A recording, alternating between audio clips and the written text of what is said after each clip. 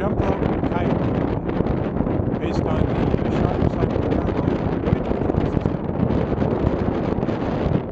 It's flying using uh, elastic cords, to allow it to uh, stretch out, and that helps it bounce back up. It's reducing thrust, uh, both on the downward side and on the upward side. So this is actually the first kite